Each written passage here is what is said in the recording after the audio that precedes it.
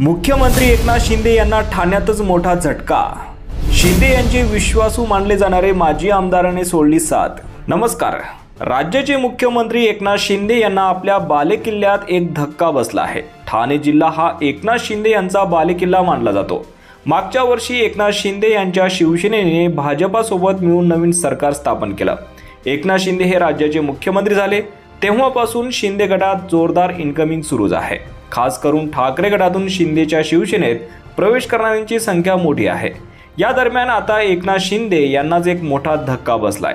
एकनाथ शिंदे यांचे विश्वासू मानले जाणारे शिंदे गटाचे माजी आमदार पांडुरंग बरोरा यांनी शरद पवार यांच्या गटात प्रवेश केला आहे.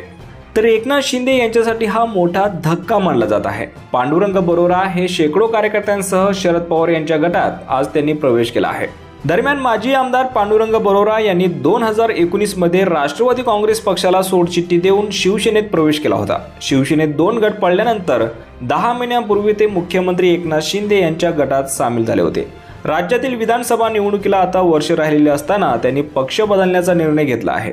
पुढील विधानसभेच्या निवडणुकीच्या पार्श्वभूमीवर आमदारकीचे तिकीट मिळवण्यासाठी त्यांची पुन्हा घर वापसी झाली आहे. मागच्या काही दिवसांपासून ते राष्ट्रवादी काँग्रेसमध्ये प्रवेश करणार अशी चर्चा होती. सध्या शहापूर विधानसभा मतदारसंघातून दौलत दरोडा राष्ट्रवादी काँग्रेसचे आमदार आहेत. ते अजित पवार गटात आहेत.